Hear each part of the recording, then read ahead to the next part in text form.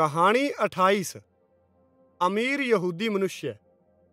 एक दिन एक अमीर यहूदी मनुष्य यीशु के कन्ने आगे, बिंगे कनु पूछो हे उत्तम गुरु, अनंत जीवन पाण खातिर मन्ने के करनो ज़रूरी है? यीशु बिने कहो, तू मन्ने उत्तम क्यों कहवा है? केवल एक ही उत्तम है और वो परमेश्वर है। पर जे तू अनंत जीवन पाणो चाहे है तो परमेश्वर की व्यवस्था को पालन कर। मन्ने कुण कुण सी आज्ञा को पालन करने की आवश्यकता है। बने पूछो यीशु बिने जवाब दियो, हत्या को नहीं करनी, व्यभिचार को नहीं करनो, चोरी को नहीं करनी, झूठ को नहीं बोलनो अपने पिता और माता को आदर करनो और अपने पड़ोसी सागे आप समान प्रेम करनो। पर बी जवान आदमी क्यों, मैं अपने बालकपन मुँह ही आ सारी आज्ञावां को पालन करतो आयो हूँ। मन्ने सदा जीवित रहने खातिर अब भी के करने की आवश्यकता है?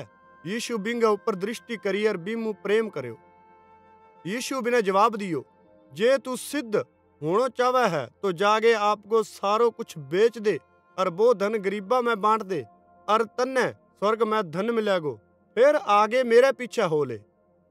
जिको यीशु कहो, जद भी जवान आदमी सुनियो तो वो बहुत उदास हो गयो। क्योंकि वो बहुत धनी हो और बने आपकी सारी संपत्ति देनी ना चाहिए वो मुड़गे यीशु गए कन्नू जानतो रहो।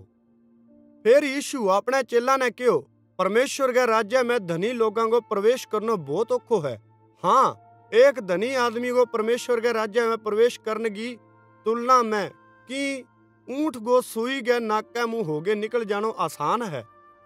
जिको यीशु कहो जद चेला सुनियो तो बे चकित होया बां कहो जे ओ हिस्सो है तो परमेश्वर किने बचावेगो यीशु चेला पर दृष्टि करी और कहो लोगां खातिर स्वयं को उद्धार करनो असंभव है पर परमेश्वर खातिर कुछ भी करनो असंभव कोनी पतरस यीशु ने कहो मैं चेला आपनो सारो कुछ छोड़ के तेरे पीछे हो गया हाँ तो मारो पुरस्कार के होवेगो यीशु जवाब दियो हर एक जन जिका मेरे कारण घर भाई बहन पिता माता बच्चे या संपत्ति ने छोड़ो है वो बिमु सौ गुना ज़्यादा प्राप्त करेगो और अनंत जीवन भी पावेगो पर बहुत सा जिका पहला है बे पिछला होवेगा और बहुत सा जिका पिछला है बे पहला होवेगा